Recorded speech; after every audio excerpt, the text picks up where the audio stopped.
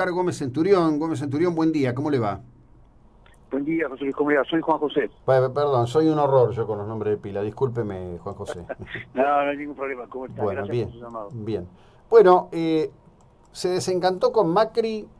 ¿Le parece que hace falta una explicitación para un pensamiento que unido al presidente Macri llegó al gobierno en 2015 y frente a una determinada suma de políticas no llevadas adelante, este, está decepcionado y necesita otra opción y usted cree que la puede representar. Cuénteme cuál es su, su análisis para ponerse en este predicamento complejo que es ofrecerse como candidato a presidente de la República.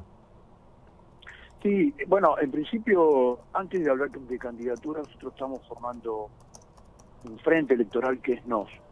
Sí. Yo creo que el análisis es más es más complejo que eso, no es solamente un análisis desde el punto de vista electoral. En definitiva, es lo último. Yo creo que al sistema político le está haciendo falta hoy un, un- modelo de pensamiento que no está representado, una caja de herramientas de la gestión política que no está adentro del sistema político y de alguna manera eso es lo que venimos a aportar. Cuando nosotros pensamos en NOS es un aporte al sistema político argentino que en definitiva es un aporte al, ciudadano, digamos, no es, no es solamente una oportunidad electoral. Estamos pensando en un, en un, en un modelo de largo plazo, no en un modelo solamente de corto plazo. Eh, está bien, pero digo, estamos en democracia y en cualquier modo que se dé, la estructura que se forme requiere de aquellos que puedan presentarse este, ante la sociedad diciendo, bueno, yo soy aquel que puede no solo representar estas ideas, sino que puede hacerlas efectivas estas ideas, ¿no?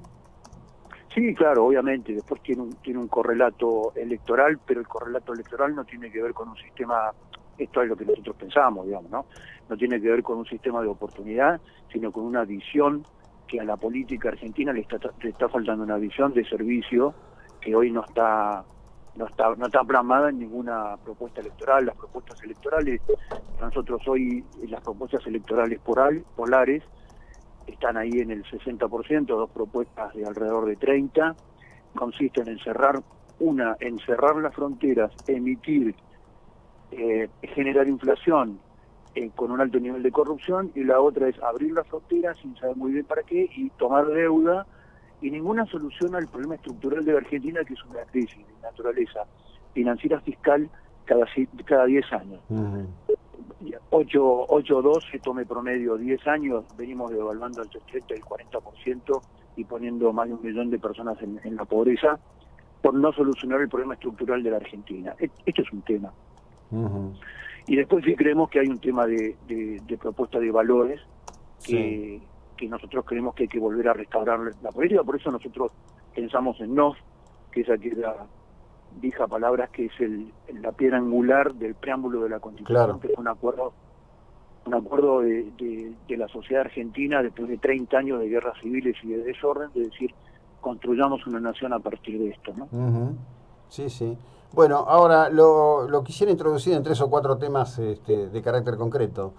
Eh, Argentina, lamentablemente, en- después de la derrota militar en el escenario de la batalla de Malvinas, eh, perdió sus capacidades militares. Argentina tiene hoy un ejército sin capacidad de despliegue en tierra, tiene una marina que no puede este, garantizar el control del Océano Atlántico y tiene una fuerza aérea en condiciones absolutamente lamentables. Somos la nación más indefensa del continente y probablemente una de las más indefensas de- del planeta, creo que si hago excepción de las naciones africanas.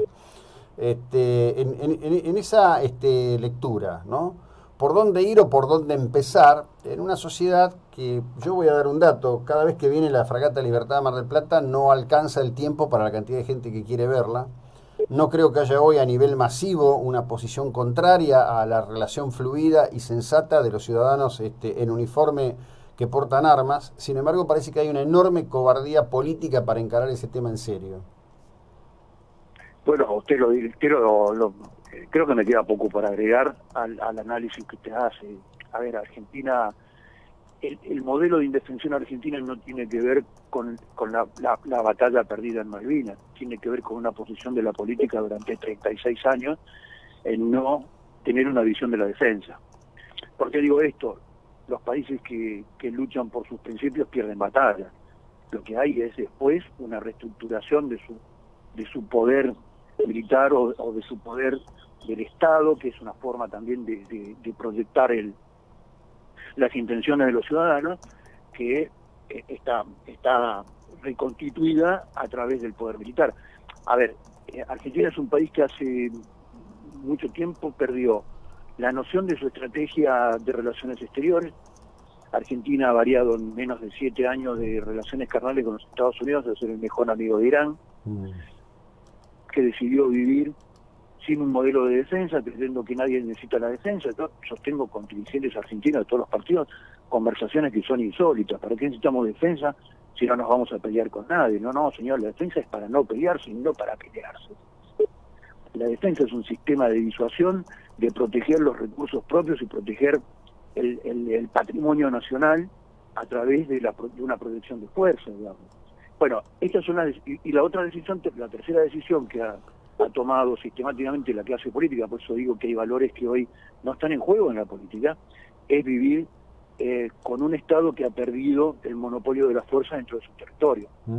son, las tres decisiones las no decisiones estratégicas que han llevado a Argentina a un modelo de crisis estructural, digamos, ¿no? Porque cuando usted toma, a ver, para ser muy gráfico en un país eh, futbolero, cuando usted no puede jugar una final de fútbol en el barrio de Núñez, en Buenos Aires, por un problema de, seguridad, porque no puede controlar la seguridad del partido, le está hablando que hay un, hay un modelo que está, está en crisis, ¿no? y, y, la defensa dentro, dentro de este modelo es un modelo de ingenuidad, en un subcontinente. Nosotros hemos producido un efecto, creo que en la historia es único. Hemos generado una relación de fuerzas absolutamente asimétrica en el subcontinente por subinversión. Nosotros por desinversión del sistema de defensa hemos generado un desbalance en Latinoamérica de, de los sistemas de defensa enorme. Al lado nuestro tenemos vecinos como Brasil y como Chile que sistemáticamente han ido actualizando su sistema de defensa porque entienden que es un modelo de la protección de la nación en el tiempo el tema de la responsabilidad del sistema de defensa. El sistema de defensa es como un seguro, usted toma un seguro para no usarlo, no para usar el seguro.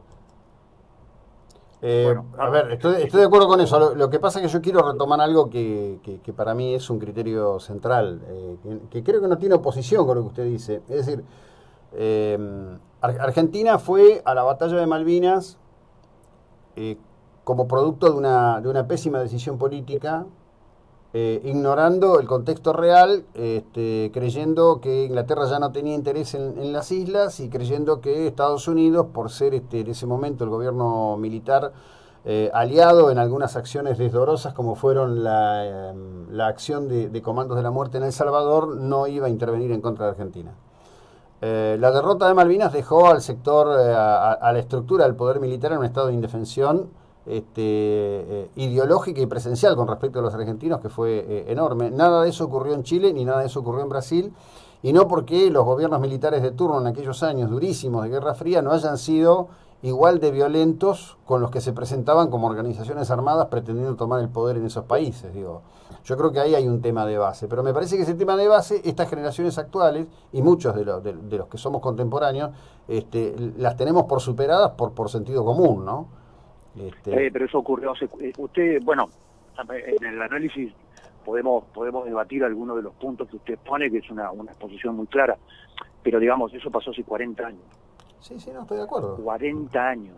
Sí, sí. En 40 años hemos, a lo mejor hemos estado discutiendo ese punto y no hemos dicho nada. Eso, eso yo me refiero, digamos, a que la, a la política es, es un hecho de acción.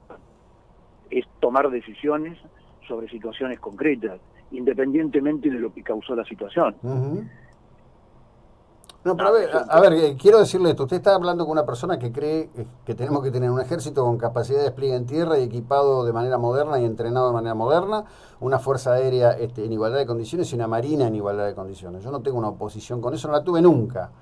Eh, le, voy a contar más. En, la etapa que desarrollé mi tarea profesional en, en Capital Federal, en un programa que hicimos con un querido amigo que ya no está, Guillermo Canepa, en Canal 11, este, sobre el final del gobierno de Alfonsín, eh, llevamos a, a, cuatro hombres del ejército argentino que combatieron con honor este, en, Malvinas para hacer un programa que en, aquel momento me acuerdo que no se, no, se cortaba el aire de, de, la inquietud que había dentro del canal. Y fue una propuesta mía, digo, yo nunca he creído, digo, creo en la persecución de los crímenes, no creo en la persecución de las estructuras ni de las personas por pertenecer a estructuras que en algún momento hayan cometido crímenes. Creo que soy muy claro en esto que digo. Este, lo, que está, este, por cierto, en concreto es que alguien va a tener que expresar esta necesidad con convicción, convicción que usted sabe, lo acaba de decir, sin dar nombres, en general la clase política argentina no tiene. No, claro. Bueno, la clase política ha perdido el sentido patriótico, la clase política ha dejado de hablar de la patria, de la continuidad histórica de la nación. Hay, hay un lenguaje, y el lenguaje es un acto simbólico que representa una idea y que representa un sentimiento. Entonces, me parece que ahí eh, nosotros lo que pretendemos a partir de nosotros es una refundación de todo un modelo de estos valores, que están expresados en muchas cosas de las que usted dice. Bien. Eh, ¿cómo, sigue este eh, la, cuestión al respecto del armado de, NOS?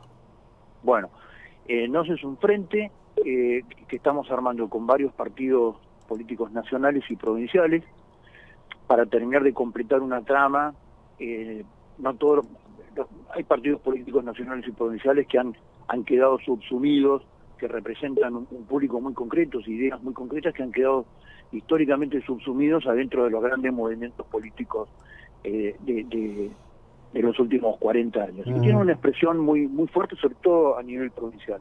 estamos armando, tratando de armar esa trama eh, para lograr una herramienta electoral que tenga realmente representatividad en todas las provincias y empezar a definir candidaturas. En ese proceso estamos muy abocados, creemos que finales de marzo vamos a tener una propuesta muy concreta en, casi todo el territorio nacional. Bueno, que, sea con suerte, le cuento esto en el contexto de la audiencia que está en este momento compartiendo la 99.9 desde Facebook Live. Mariano Briz dice, buen día.